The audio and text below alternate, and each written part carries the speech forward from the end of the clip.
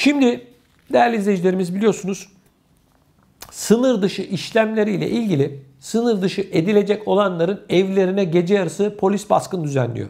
Bunu çevremizden duyuyoruz. Siz de duydunuz mutlaka. Bununla ilgili olarak bir mahkeme karar aldı ve şunu söyledi.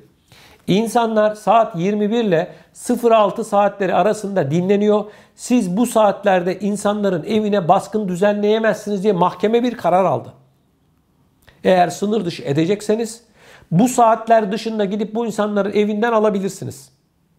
Ama 21 ile 06 saatleri arasında baskın düzenlemek doğru değil deniliyor. Bakın haberi aynen sizinle paylaşıyorum. Düsseldorf İdare Mahkemesi sınır dışı edilecek kişilerin bulundukları evlerden gece yarışı gece yarısı anlamayacaklarına hükmetti. Saat 21 ila 06 arasında polisin istisnalar dışında sınır dışı işlemi için evlere baskın düzenleyemeyeceğini, bu işlemin sadece gündüz vaktinde yapılabileceğini vurgulayan mahkeme heyeti söz konusu zaman aralığında insanların istirahat ettiklerini açıkladı. Mahkeme söz konusu kararı Disburg Göçmen Bürosu'nun talimatı doğrultusunda polisin sınır dışı işlemi için saat 04.30'da bir eve baskın düzenlemesi üzerine aldı. Mahkeme kararında baskının düzenlendiği saatin uyku vakti olarak değerlendirildiği ifade edildi.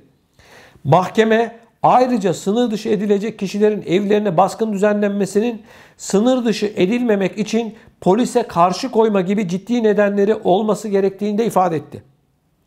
Davaya konu olan olayda ise böyle bir durumun söz konusu olmadığına işaret edildi. Mahkeme heyeti göçmen dairesinin sınır dışı işlemini düzenlerken bu hususları dikkate alması gerektiğine vurgu yaptı. Disburg göçmen dairesinin karara karşı temyiz başvurusunda bulunma hakkı var. Yani gece yarısı adamı gidiyorsun basıyorsun alıyorsun diyor. Yapma diyor bunu. Sınır dışı böyle olmaz diyor. Türkçesi bu ama hep duyuyoruz her yerde bu tarz baskınlar yapılıyor. Yani sınır dışı etmek zaten bir insanı gerçekten çok zor bir durum. Umutlarını bağlayarak o ülkeye geliyor. Göçmen hayatını idame edebilmek için, ayakta kalabilmek için, çoluk çocuğuna bakabilmek için, ekmeğini kazanmak için geliyor. Bir şekilde gelmiş. O ülkeye girmiş. Herhangi bir suç işlemediyse, başkalarını rahatsız etmediyse, eğer o ülkeye geldiyse bu insanlar öyle ya da böyle bir şekilde o ülkede barınmak zorunda. Zaten şartları iyi olsa kendi ülkesinden çıkıp binlerce kilometre gelip çile çekmez. Bu açık bir şekilde. insani boyuttan bakıyorum. Hani hukuki ya da kanun dilinde konuşmuyorum. Sen bu insanı geri götürüyor, gönderiyorsun. Öyle göçmenler var ki hepimiz biliyoruz ki sokaklarda yatıyorlar, perişanlık içerisinde. Maalesef hele hele gelişmiş ülkeler Almanya gibi başta olmak üzere gelişmiş ülkeler zaten göçmenlerle ayakta duran ülkeler. Ekonomileri göçmenlerle çevriliyor. Yani bu sınır dışı konusunun şartlarının biraz ağırlaştırılması gerekiyor ki insanlar bir şekilde ülkelerine geri gitmesin.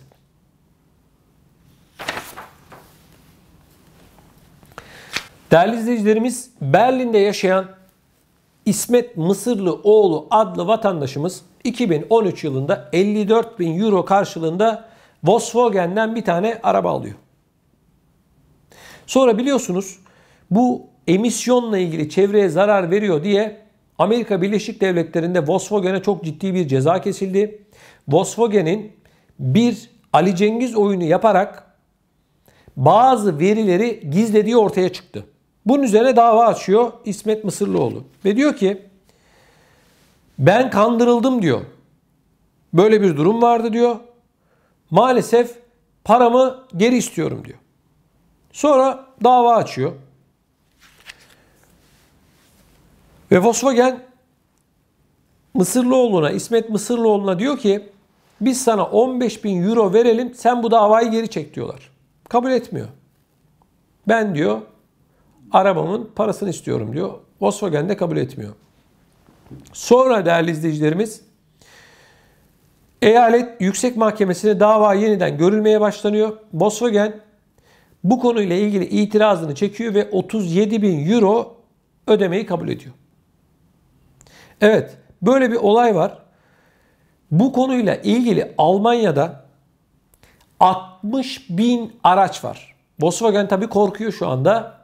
Bu karar emsal olacak. Evet. Volkswagen gibi bir dev değerli izleyicilerimiz yapmış olduğu bu Ali Cengiz oyunu başına büyük işler açtı. Açmaya da devam ediyor. 60 bin araç sadece Almanya'da. Hollanda'da ilginç bir uygulama hayata geçirildi. Yolda gidiyorsunuz otobanda mesela. Araç kullanıyorsunuz. Etrafta hiç kimse yok. Elinize telefonu aldınız. Şöyle bakıyorsunuz araç kullanırken bir şey oldu ya da falan. Şimdi yeni bir sistem kuruldu. Hayata geçti resmi olarak. Kameralar, kameralar elinizde herhangi bir elektronik cihaz var mı yok mu bunu tespit edecekler. Yani radar kamerası falan değil. Elinizde eğer elektronik bir cihaz varsa iPad olabilir, işte telefon olabilir. Bunu tespit edecek ve size ceza yazacak değerli izleyicilerimiz. İlginç, ilginç bir teknoloji. Eğer elinizde böyle bir teknolojik alet o kameralar görürse 240 euro cezayı ödeyeceksiniz. Almanya'da yaşayan İsmet Tuzcuoğlu adlı bir babanın feryadı var. 27 yaşındaki kızı Kübra'yı arıyor. Ve diyor ki ne olur geri dön. Almanya'nın Weisberg kentinde yaşadıklarını anlatan İsmet Tuzcuoğlu kızımla en son 2017'de görüştüm. Baba kendi hayatıma bakacağım dedi. Ve gitti. Bir daha da bulmuyoruz. Şimdi ve savcılık da şunu söylüyor. Reşit olduğu için yani 18 yaşından büyük olduğu için kendisi hakkında bilgi veremiyoruz diyor deniliyor. Şimdi değerli izleyicilerimiz bakın. Tamam yaşı büyük falan. Kanunlar bunu söylüyor ama bir anneye ya da babaya da şu söylenmeli. Evet şurada sağlığı yerinde ama sizinle görüşmek istemiyor gibi bir şey söylenmeli. Yani 27 yaşındaki bir kızı tabii ki geriye getirebilmek, kendi isteğiyle gittiyse geriye getirebilmek imkansız. Gitmiş. Ama bu insanları da anne baba olarak düşündüğümüz zaman mutlak surette işte şurada ya da burada yer söylemeden gerekirse yaşıyor ancak sizinle görüşmek istemiyor denilebilir. Sağlık haberi verilebilir. İsmet Tuzcuoğlu değerli izleyicilerimiz ve şunu söylüyor. Kızımı görenler ne olur bana ulaşsınlar. Ee, konuyla ilgili de yardımlarınızı bekliyorum deniliyor değerli izleyicilerimiz. Weinsberg'de yaşıyormuş İsmet Tuzcuoğlu. Değerli izleyicilerimiz gören duyan olursa bununla ilgili olarak yani bu babaya, babaya eğer haber iletirseniz varsa böyle bir göreniniz edeniz iyi olur diye düşünüyorum. Yine takdir sizlerin değerli izleyicilerimiz. Amerika Birleşik Devletleri Başkanı, eski başkanı Barack Obama bir kitap çıkardı. Yeni bir kitap. Ve Almanya Başbakanı Merkel için bakın neler söyledi. Merkel'i güvenilir, dürüst, entelektüel, hassas, doğal ve dostçu buldum. İlk başlarda biraz kuşkuluydu. Güzel konuşan insanlara güvenmediğini söyledi. Merkel güzel konuşanlara güvenmiyormuş. Ve şunu söylüyor Obama, Merkel Avrupa'daki en önemli müttefiklerimizden bir tanesi.